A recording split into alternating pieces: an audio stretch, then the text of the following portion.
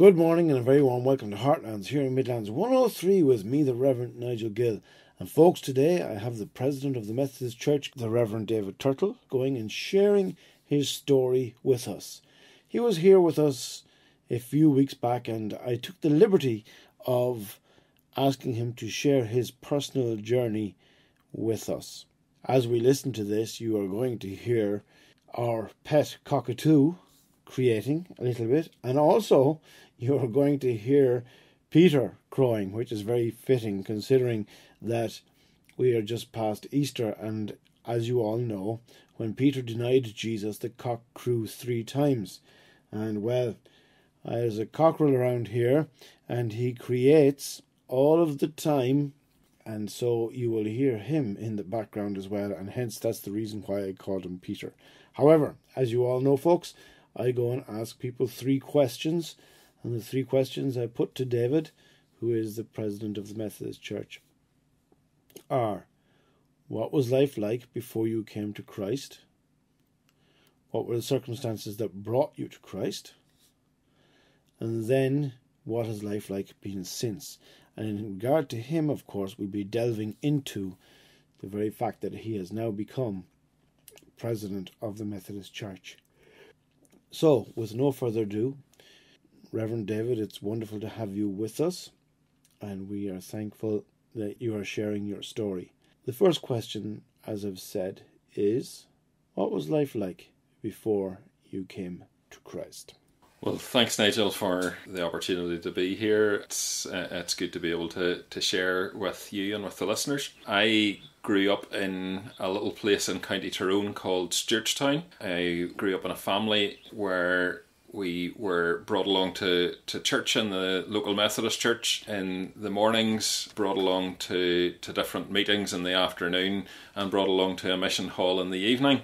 So I was well immersed in church. We were part of a, a farming family. My my father had a mixed farm with dairy and beef. I had two sisters, two older sisters, and I suppose there was always an expectation that I would come along and be farming uh, along with my father. And that was something that was no problem to me because I really loved that lifestyle. As I grew up, I was involved in the farm again and again, and so that was something that was really core to, to life as well as being involved in different church activities. But as I suppose is true for many people, the the fact that I was brought along to church and brought along to all of these different Christian activities didn't actually change or transform my life in and of itself. And although as a child, I think I probably prayed many prayers asking Jesus to come into my heart because that's what it seemed was expected of me. It was actually whenever I was 15 years of age that I actually came to the point of giving my life to Christ. And there were a number of things that led up to that. I had been involved with the Christian Endeavour in Dungannon Methodist Church. I attended there because whenever you're the, the youngest in the house and you've got older sisters who can drive, you tend to go where they're able to bring you. So I was involved there and went along, but really was impressed by some of the the the people who were involved in leading that impressed by the way they were living their lives and uh, actually I suppose started to be convicted for the first time that actually I needed to give my life personally to Jesus. One evening when I remember the leaders uh, standing up telling a congregation who we were about to sing for that all of the members of the group were Christians uh, and I remember being deeply convicted in my heart that actually that was a picture that I was conveying. That was something that to someone looking from the outside may have thought that was true of my life, but actually I knew in my heart that I didn't have a real relationship with Jesus for myself. And it was just a few weeks after that that, uh, again, as a group, we were attending a mission in one of the, the small churches on the circuit, and uh, I have absolutely no idea what the, the preacher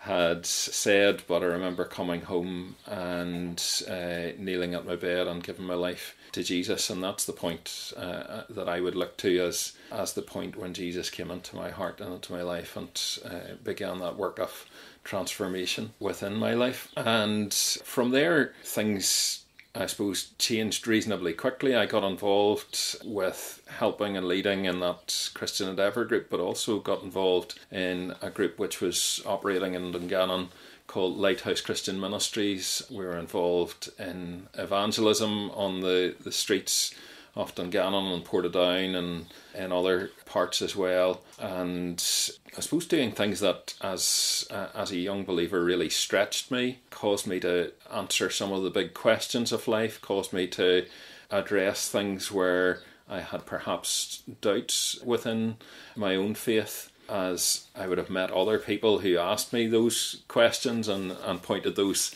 uh, areas of where I didn't really have answers for. So it caused me to, to examine that and really strengthen my faith. And thankfully, as I moved on, that was something that, that's really been a foundation for me moving forward. Going on from there, I went on to university in Queen's University in Belfast, studied agriculture, and came back home to farm and had certainly no intention of doing anything else uh, for the rest of my life. I really enjoyed that life. Really enjoyed taking a bit more charge of the farm, and my father was very gracious in allowing me the the space to go in a slightly different direction with the farm and to move more exclusively into dairy farming. And again, that was something I had a real passion for and a real interest in and something that seemed to be going very well. In my early 20s, I then married Pamela, who I had known for a good number of years, and we had our first couple of children, Stephen and Amy. And through those years, the, whilst I couldn't really put my finger on what it was, I just knew there was something that God was prompting in my heart. And even though everything would have led me to believe that this was the pathway for my life that I was to to stay on the farm that I was the fourth generation that I was to continue in that way I just knew there was something going on in my heart that God was placing a call on me to do something different. And I explored a number of different things. I thought because I had studied agriculture that perhaps it was a call to overseas development work. I investigated some of those opportunities. None of those doors seemed to be opening. Tried lots of different uh, organisations. Uh, none of those things seemed to really be resonating either with me or opportunities opening up to do that. And so I was really getting to a point where I was quite unsettled in terms of knowing that God wanted me to do something different, but actually not knowing what that was. Welcome back to Heartlands here in Midlands 103 with me, the Reverend Nigel Gill, where I am having a conversation with the Reverend David Turtle, President of the Methodist Church here in Ireland. David has been outlining to us his journey through his childhood, growing up on a farm, having then got married to Pamela, and having decided to go and concentrate his efforts then on dairy farming himself. He also shared of his journey to faith, where he grew up in a Christian home, was very immersed in all things Christian, going to church on a Sunday morning, going to afternoon services, and then going to an evening service. But as he had been journeying along in that, he discovered he wasn't where he ought to be, and that his life indeed was hypocritical, a sham especially when someone went and announced that they were all Christians and he knew that that wasn't really true of him.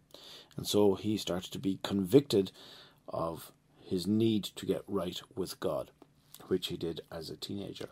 However, after being farming for a number of years and welcomed a son and daughter into their lives, he was uneasy and unsure about what it was that he was supposed to do, but he believed that God wanted him to do more and yet couldn't figure out what that was. And that is where we left the story. So, David, can you please tell us what happened next? I remember Pamela saying to me, Whatever it is, you better find out because you can't go on like this. Different people over the years had suggested to me that I should consider going into ordained ministry. And I think that was the point at which I said to the Lord, Lord, whatever it is, would you show me, even if it's ordained ministry? And it was the following morning in my Bible readings, there was Mark chapter 10 that said, I tell you the truth, no one who's left home or brothers or sisters or mother or father or children or fields for me in the gospel will fail to receive a hundred times as much in this present age homes, brothers, sisters, mothers, children, and fields, and with them persecutions and in the age to come, eternal life. And there was just a real sense of peace and confirmation that actually this was the path that God was calling me down. And I felt this is something that's going to take a lot of time. We had a pedigree herd of dairy cows, and knew from experience that dispersing a herd like that was going to take a little while. And so that was the attitude I was taking. But the next morning, when I was reading through the scripture passage that was in that set of readings, that was the question that was in my mind. You know, when, how long will this be? And the thing that struck me, which had never struck me before, was from Matthew chapter 4, where Jesus was calling the first disciples. And the thing that really stood out to me was uh, immediately they left their nets and they followed him. So there, again, there was that sense that this was something that I needed to do quickly. So I started to put wheels in motion, and six months after that first time of confirmation, our dairy herd was being sold, and I was starting two weeks after that as a lay pastor in the Aughnacloy and Monaghan Methodist Circuit, and with no theological training and no real pastoral experience. And the people of that circuit put a great deal of faith and confidence in me, which I'm sure was misguided. But at the same time, I was really blessed through that whole period with a sense of God turn up again and again in ways that I can't really explain or, or put into words, but actually just a real sense that God was right in the midst of all that was going on and having no real guarantee that I was going to be received as a candidate for Methodist ministry. I had sort of burned a lot of bridges uh, at that point, but had the confidence that God was, was leading me in that direction. So I continued to, to work in a part time capacity with the circuit in Aughnacloy and Monaghan whilst studying part time for local preachers' exams, studying then part time for a Masters of Divinity degree, and uh, all the time still waiting to see whether my application to be received as a ordained minister was going to go through. Thankfully, that did, and I spent four years working part time as a lay pastor, before then being stationed to Ballynahinch as uh, a minister, and again with a huge amount of learning to do. The the folks there in my first church were incredibly gracious and offered me a lot of uh, grace and forgiveness for mistakes I'm sure that I made along the way, and I just had a real sense that that God was at work in that place it was coming to a stage in my life where I had a number of different challenges uh, on the way through our the candidating process for ministry. I had a medical which revealed I had a heart murmur, and so just six months into my first station, I had to have open heart surgery for heart valve repair, and that was something I suppose that I hadn't really bargained for coming to the end of my time in Ballynahinch. My wife Pamela ended up with viral meningitis and was really, really poorly with that for a long number of months, and in fact took about five years to really fully recover from that. And again, those were experiences where weren't things that we would have ever wanted to invite into our lives weren't things that we would ever have looked for, but at the same time were times whenever looking back we can see were tremendously stretching for us in our faith, but times when we saw God uh, in His faithfulness standing with us, bringing the people into our lives who were significant uh, in seeing us through that and time and time again, just seeing miraculous situations really is the only way we can describe them where actually we saw God's hand at work. Thank you, David. And now we will just pause for the reading of the word and we will listen to Psalm 133, which is our lectionary psalm for today, read to us by Charlize. We're reading Psalms 133. How good and pleasant it is when God's people live together in unity. It is like precious oil poured on the head, running down on the beard, running down on Aaron's beard, down on the collar of his robe. It is as if the dew of Hermon were falling on Mount Zion, for there the Lord bestows his blessing, even life for evermore. Welcome back to Heartlands here in Midlands 103 with me, the Reverend Nigel Gill, and my guest today is the President of the Methodist Church in Ireland, the Reverend David Turtle.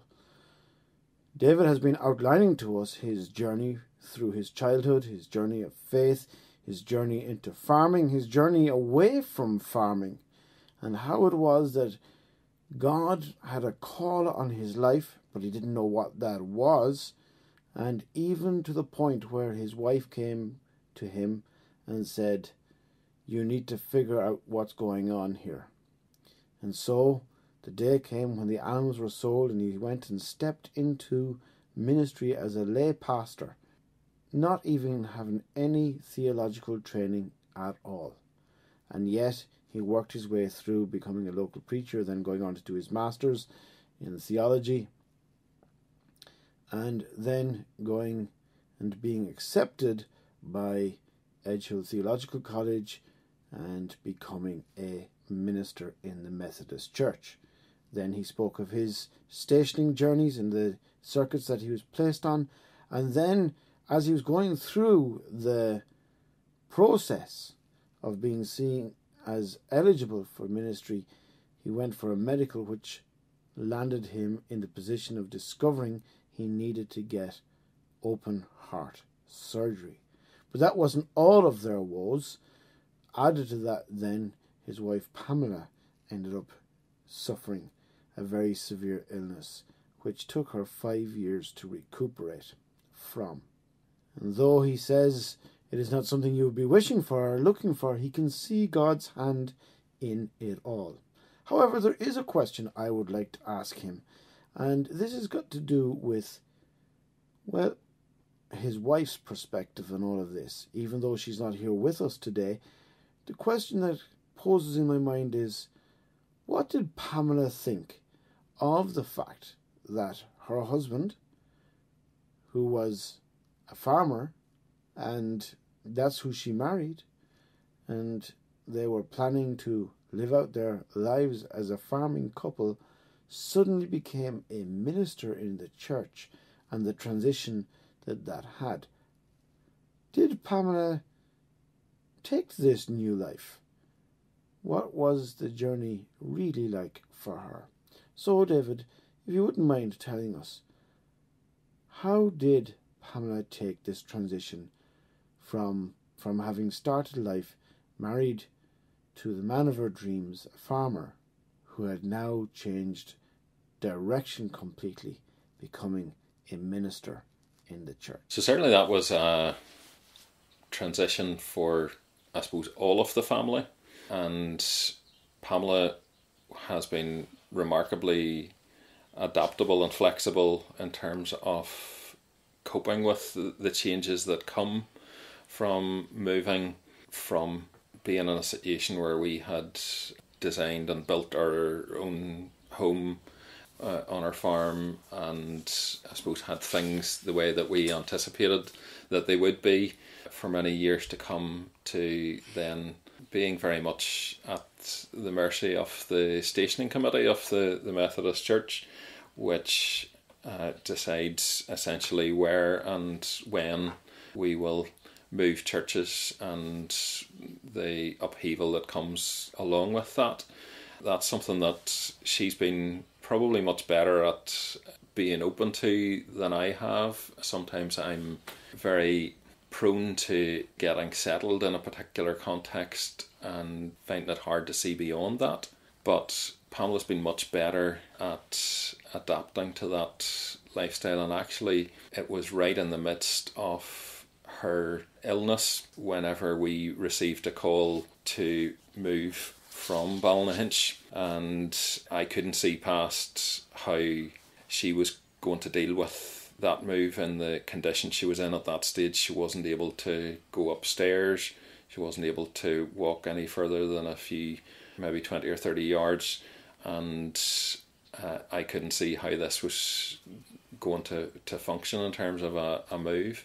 But actually, she was the one who said, No, I think this is right. And it was when we moved that actually a casual conversation with someone in Lisburn translated into her receiving a program of care, which was where her real rehabilitation actually started and where she really started to see progress. And about six months uh, on from there, we were attending Castlewellan Holiday Week, and someone came to offer the opportunity to people of trekking to Everest Base Camp. And Pamela, who again at that stage was only walking a few yards, turned to me and said, I'm going to do that. And I said, Yes, dear, that's great. But uh, in 2017, six years later, Pamela reached Everest Base Camp. And that was something that was a, a real achievement for her, but again, something that reflected many years of journeying with God through the questions and the challenges and the difficulties that arise from living with chronic illness. And uh, I think that's something which, in both my ministry and in the way that Pamela relates to people, has been something that's brought a, a sense of empathy and understanding in terms of what many people are, are dealing with in our congregations, in our communities, uh, and beyond. Now, David, changing lane a little bit, I would like you to go and share with me what are some of the highs and lows of your presidency as president of the Methodist Church only has a one year tenure in that position, so it's quite short. Can you outline to us some of your highs and lows, please? So, throughout this year as president, I suppose there's been remarkable privileges and opportunities to have an insight into what God's doing, not just within the Methodist Church in Ireland, even though it's been amazing to, to see the breadth of that, but also in the church beyond and in other denominations in Ireland. And it's just been a, an amazing privilege to, to see all of that. The things that have been really encouraging for me are the places where we discover people who, with perhaps very limited resources in terms of their outward resources, are actually being incredibly creative and passionate about seeing God's kingdom built in terms of seeing people brought to know Jesus in seeing people helped and assisted in their lives in difficult circumstances and people just who have a real passion for that. Some of our smaller churches are doing amazingly creative things and have taken some very difficult and courageous decisions and moving forward. And those are the things that just speak to me of the fact that God's church is always going to move forward uh, as people live for Jesus and see ways in which their faith can be worked out in His service and for the good of others. I think there have been situations within the life of our communities that have been deeply challenging, particularly, I suppose, in terms of the political situation in Northern Ireland. Uh, we've been through a number of difficult months, and due to the position I've been in, I've perhaps had closer access to talk to those who have been involved with our political parties than previously before. And that's been something that has, I suppose, enabled me to see some of the, the challenges that our communities are facing at, at a closer level. People who are really struggling with the whole cost of living crisis and uh, people who are in much more difficult circumstances. And that's something I suppose that our church has been talking about for a long time, but in circuit ministry, it's maybe something that we don't come face to face with as, as often. And through our politicians, through our city mission superintendents, through people who are dealing with people in their lives day by day facing these issues, that's something that's really been challenging to me. My guest today is the Reverend David Turtle, the president of the Methodist Church in Ireland. And I had caught up with him a few weeks ago when he was here and asked him for an interview, detailing and sharing with us how God has been working and ministering and moving through his life. At this point, we come to a place where we ask for a reflection that someone would share their favourite verse of Scripture or share what Scripture has been impacting them of late. And so this is the very thing I am going to ask David to do. But before we do that, we will listen to the very familiar story of the feeding of the 5,000 read to us by Suchi, taken from Matthew and chapter 14, verses 1 to 21. And indeed, that is what the President's reflection shall be upon. So, here is Suchi reading to us from Matthew's Gospel. Matthew 14 1 to 21. At that time, Herod the Tetrarch heard the report about Jesus and said to his servants, This is John the Baptist. He is risen from the dead, and therefore these powers at work in him. For Herod had laid hold of John and bound him, and put him in prison for the sake of Herodias, his brother Philip's wife because John had said to him, It is not lawful for you to have her. And although he wanted to put him to death, he feared the multitude, because they counted him as a prophet. But when Herod's birthday was celebrated, the daughter of Herodias danced before them and pleased Herod. Therefore he promised with an oath to give her whatever she might ask. So she, having been prompted by her mother, said, Give me John the Baptist's head on a platter and the king was sorry. Nevertheless, because of the oath and because of those who sat with him, he commanded it to be given to her. So he sent and had John beheaded in prison. And his head was brought on a platter and given to the girl, and she brought it to her mother. Then his disciples came and took away the body and buried it, and went and told Jesus. When Jesus heard it, he departed from there by boat to a deserted place by himself. But when the multitudes heard it, they followed him on foot from the cities. And when Jesus went out, he saw a great multitude, and he was moved with compassion for them, and healed their sick. When it was evening, his disciples came to him, saying, This is a deserted place, and the hour is already late. Send the multitudes away, that they may go into the villages and buy themselves food. But Jesus said to them, They do not need to go away. You give them something to eat. And they said to him, We have here only five loaves and two fish. He said, Bring them here to me. Then he commanded the multitudes to sit down on the grass. And he took the five loaves and the two fish, and looking up to heaven, he blessed and broke and gave the loaves to the disciples, and the disciples gave to the multitudes.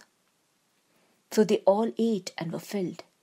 And they took up twelve baskets full of fragments that remained. Now those who had eaten were about five thousand men, besides women and children. David, at this point of the show, we always ask our guest for a reflection to share on their favourite passage of Scripture or to share on a Scripture that means something to them at late. So, what words of wisdom have you got for us today, please? So, one of the passages which over the years, I suppose, always something which resonated strongly with me was where Jesus feeds the 5,000, particularly the account that we have of that in Matthew's Gospel. And that account comes immediately after John the Baptist has been beheaded. And Jesus, in many ways, I think, is dealing with the grief and the loss of that and working through that. And as he goes on, he's going and wants to go to a, a quiet place, but then these crowds come uh, and arrive, and Jesus immediately just responds to that and goes into to ministry mode and he has compassion on them. He heals those who are ill. And then as evening comes the disciples approached him and they say this is a remote place. It's already getting dark. Send the crowds away so that they can go and buy food. And Jesus says they don't need to go away. You give them something to eat. And that's, I suppose, where the drama begins in many ways because the sun's setting, there are thousands of people, their families, the disciples are saying, These people just followed you on the spur of the moment. They didn't come prepared to, to spend the night or to eat. And Jesus doesn't argue about any of that. Nobody's arguing about the issue that they need to eat. The question's how that's going to be dealt with. And so Jesus looks at his 12 followers and he says, You feed them, you do it. And immediately they think what all of us have maybe thought of on in some stage of life in some shape or form maybe not on this scale where we are saying i'm not arguing with the need but i can't do that. I'm not capable of that. I, it needs to be done but i'm not capable of doing that. Jesus you're going to have to come up with another plan. Uh, they say we've only five loaves of bread and two fish.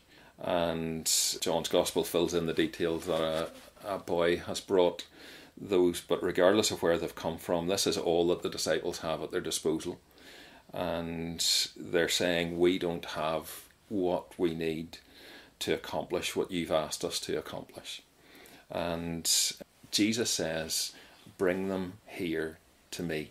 In other words, give me, hand over what you have there, give me everything that you've got, give me your full capacity and let me touch what you think is not enough to get the job done. And he asked the people to sit down on the grass. Everyone has a seat, and there's Jesus and the twelve disciples. And I imagine they're lined up in front of him, and they're they're looking around, thinking, "What's the best way to get out of here?" Because all of these hungry people are going to find out that the chip van's not coming, the ice cream van's not coming, and taking the the loaves and the fish and looking up to heaven, Jesus gives thanks and breaks the loaves and gives them to the disciples. And it, I suppose in my mind, it's trying to imagine that moment where you're facing Jesus, you've got thousands of people behind you sitting down waiting for their dinner, and Jesus takes the fish and uh, I don't know whether he cuts it up or breaks it up, and he breaks the bread and Jesus hands you this little piece, and you ask, What am I supposed to do now? Do I turn around? What's going to happen now? And then he gave them to the disciples, and the disciples gave them to the people. And the principle, I suppose, underlying that, which has come to me over the course of this year powerfully again, is this principle that throughout the history of his people, throughout the history of the church, that the disciples take what they have and they did with what they had the only thing that they could do. They hand it to Jesus and allow him to touch it, and then Jesus intervenes and does what only he can do. And something that was beyond their capability and capacity happened. And I suppose the short version is they did what they knew to do, and then Jesus did what only he can do. And that's something that I think we're seeing again and again replicated throughout the churches in our own connection, I've no doubt, in churches of other denominations as well, both here in Ireland and across the world, where people are taking the little that they have, the little that they can do, offering it to Jesus, and then Jesus is able to take that and do beyond what any of us could imagine that he would do and to bring glory to him and to bring change and transformation in the lives uh, of many people. Thank you, David. Folks, my thanks to the Reverend David Turtle, President of the Methodist Church in Ireland, for coming and sharing his story with us today and sharing on that reflection, which has really challenged me and touched my heart. At this point, all that's left for me to say is thank you very much for listening and joining with us today. And until next time, may the Lord bless you and keep you, make his face shine upon you, show you grace, and turn his face towards you, and give you peace. In Jesus' name, Amen.